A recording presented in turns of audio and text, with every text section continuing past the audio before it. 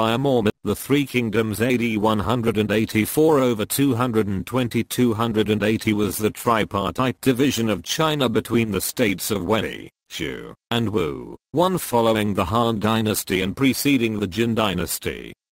The term Three Kingdoms itself is something of a mistranslation, since each state was eventually headed not by a king, but by an emperor who claimed legitimate succession from the Han dynasty too nevertheless, the term Three Kingdoms has become standard among sinologists. To further distinguish the three states from other historical Chinese states of similar names, historians have added a relevant character Wei is also known as Cao Wei, 3, for Shu is also known as Shu Han, and Wu is also known as Dong or Eastern Wu. Academically, the period of the Three Kingdoms refers to the period between the foundation of the state of Wei in 220 AD and the conquest of the state of Wu by the Jin dynasty in 280. The earlier unofficial part of the period, from 184 to 220, was marked by chaotic infighting between warlords in various parts of China. The middle part of the period, from 220 and 263, was marked by a more militarily stable arrangement between three rival states of Wei, Shu, and Wu. The later part of the era was marked by the conquest of Shu by Wei 263, the usurpation of Wei by the Jin dynasty 265, and the conquest of Wu by the Jin 280. The Three Kingdoms period is one of the bloodiest in Chinese history.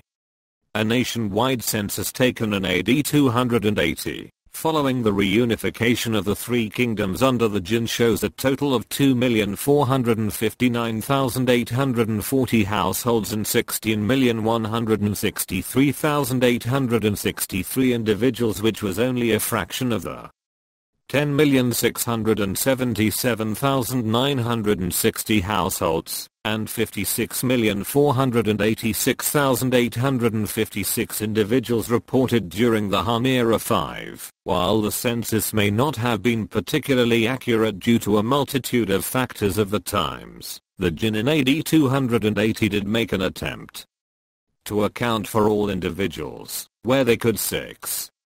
Technology advanced significantly during this period.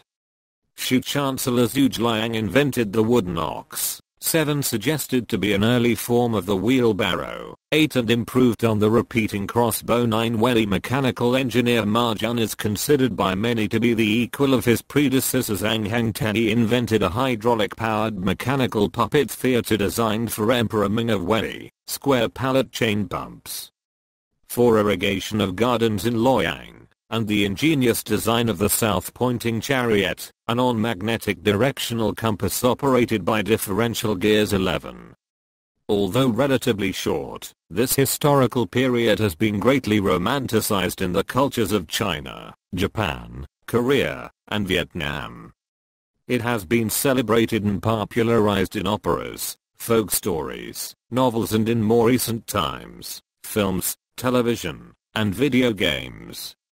The best known of these is Luo Guanzhong's Romance of the Three Kingdoms, a Ming Dynasty historical novel, based on events in the Three Kingdoms period 12. The authoritative historical record of the era is Chen Shou's Records of the Three Kingdoms, along with Pei Songzhi's later annotations of the text.